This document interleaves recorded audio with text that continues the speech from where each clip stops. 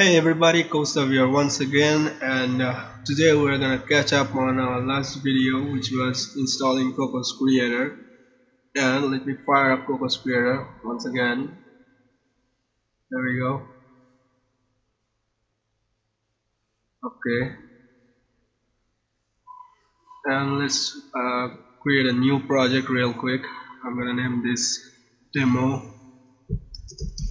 Okay and create it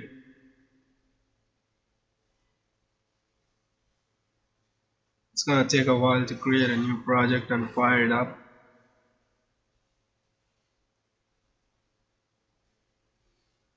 There we go. Alright okay the first thing that you're gonna notice here is that whenever you create a new project you're gonna be uh, presented with the default layout Cocos Creator.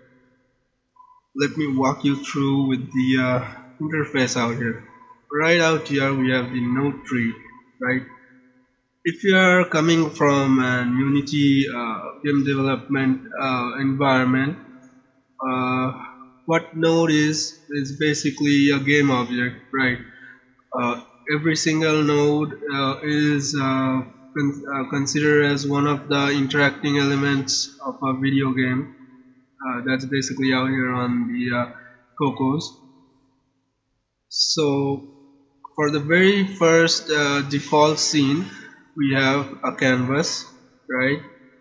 There we go. And basically what a canvas does is it holds the main uh, presentation and layout of the game that's uh, that's gonna be rendered out right? And uh, right out here in the most uh, in the rightmost corner of the screen we have this properties panel right here and uh, we know we notice something that uh, the position here is locked. There you go. To 480 by 320 right? And the design resolution can be set from here. So whenever you want to make any changes and um, uh, changes to the dimensions of the uh, game that you're going to be working on you're going to be changing the design resolutions from here so let's say we want a resolution of uh, 1280 by 720 right? Let's do that. 1280 720 oops. 720 yeah that's more like it. So what you're gonna notice now is that not only has the size uh, been changed from the design resolution that we provided right now but also the center has been automatically calculated right?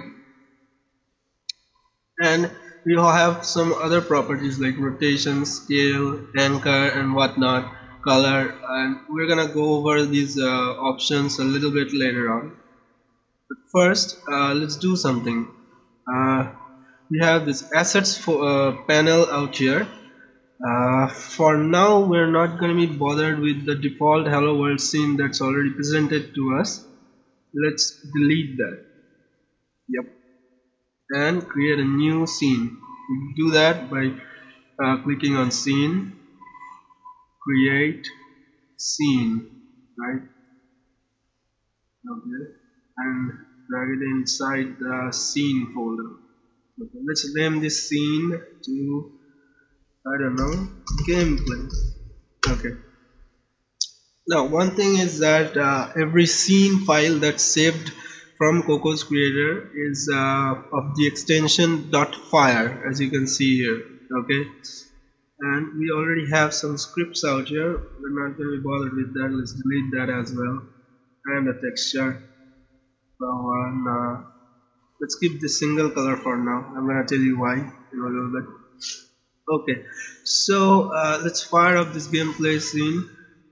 Okay. Don't say fine. Okay. But you're gonna observe that this is a blank scene as well and we are currently working inside this gameplay right? So the very first thing that we're gonna do is check out the navigation right? As you can see right here uh, drag with right mouse button to pan viewport scroll to zoom. So let's do that right? I'm scrolling it's zooming in right? Then I'm scrolling out and it zooms out. Pretty straightforward right? One thing though is uh, you know you can uh, press down the right mouse button and without releasing it if you drag you can pan the viewport right? Same thing goes for the uh, middle mouse button as well easy peasy right? Now uh, we also have a few panels down here at the bottom the console and the timeline. We're gonna talk about the timeline in details in a much later video where we are going to be covering animations in depth right?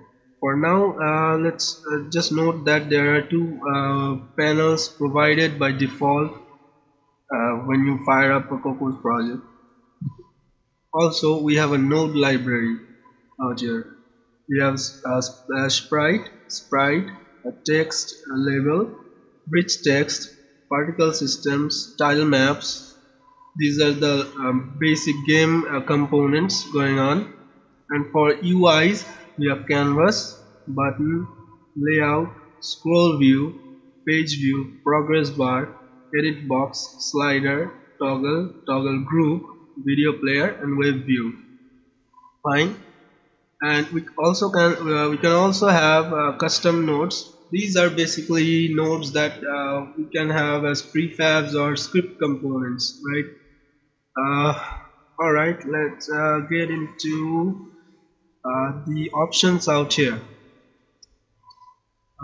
For for me to demonstrate this I'm gonna drag drop a sprite from this node library right into my scene. Like so. And as you can see a default sprite frame or rather the image has been already provided inside the sprite component. There. This by the way is a component. See this is a sprite node this is a sprite component. Okay. Now from what we can see here is that a sprite by default has a node component to it because every game object that you drag drop onto the scene is a node or an extension of the node right? You can add game components uh, onto a default node and you can even have uh, custom components like scripts uh, onto the nodes basically. So we're gonna do nothing fancy out here. Just check out some of the properties going on. Uh, basically here. Okay. So uh, let's see. Since I have this uh, move gizmo selected right here I can move it in the vertical direction in the horizontal direction. And if I select on this uh, square thingy out here in the middle I can drag this in both of the axes at the same time right? Like I can freely move this thing. Then comes the rotation gizmo right? I select this. We have this very cool rotation thingy going on. And if I drag hold on to this and drag I can rotate this thing right? There we go. There we go see what I'm saying? It takes a little getting used to this thing but you get the idea. You can even uh, rotate this thing from the inspector out here. Say if I want a rotation of 45 degrees it's gonna rotate 45 degrees right? And the rotations are uh, clockwise if you notice this. See 45 degrees this way put in 90 it's gonna be right there 180 360 okay. And 0 and 360 degrees are the same. There you go. And we also have this scale gizmo right? If uh, hold on to this gizmo this handle out here. I can scale it along the y-axis. There we go. You can scale beyond one I can scale inside one. I can even scale in the x-axis there we go. Now if I hold on to this thing in here and scale I can have an uniform scale going on. See what I'm saying? Pretty cool huh? Okay or I can set the scale from here. 1 1 which will revert back to the default scale. I can have this rectangular transform gizmo. There you go. See what I'm saying? The one more thing that you can notice here is that we can have a rectangular transform from this point from this point from this point and here. And you can even click in the middle and drag to move the entire thing.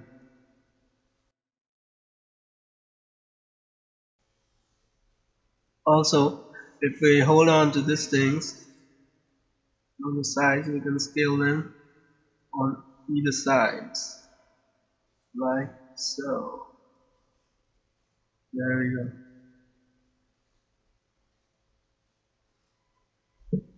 Let's uh, so basically it's not going to change the scale as you can see here but it's going to change the size of it right? And in case you have been wondering oh what am I gonna do if I screw up the default scale well there's a simple thing that you can do which is come down to this area this bright area. Select the drop down from the size mode let's say to raw boom there you go. It's straightforward right? Okay. Now uh, there's this thing called anchor position right? Notice that by default the anchor is set inside the center of the rectangle or the bounding box basically what you can do is hold on grab on to this uh, blue circle in here and shift it right so whenever I'm transforming it uh, my transformations will be about this point let's see there we go. See what I'm saying? Okay. And you can also set the anchor from this uh, sprite node inspector out here. Let's set the anchor to default 0.5 and 0.5 on either axis. See, now the rotation has been applied above the axis.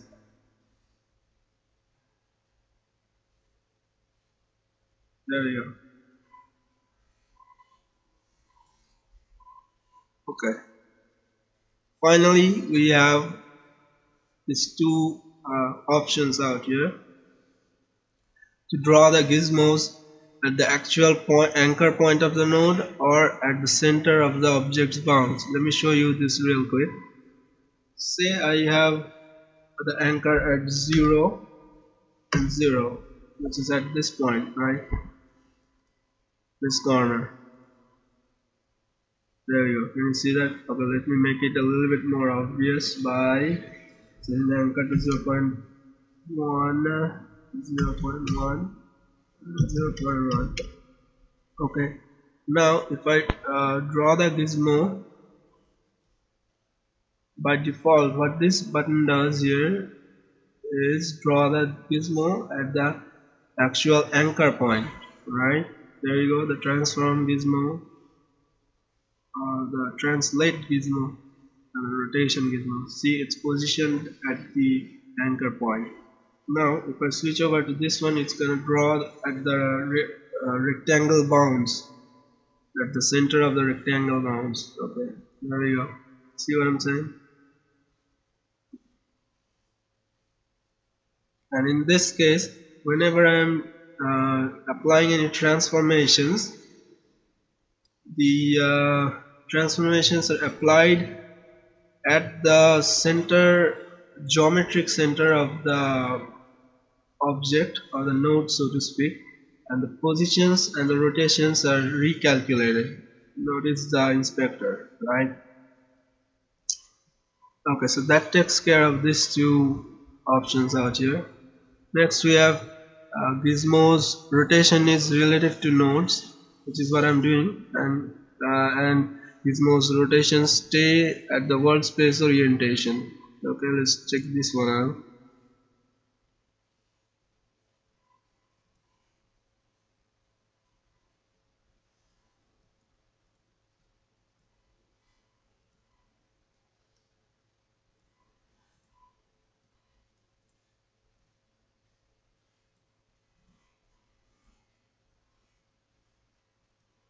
Okay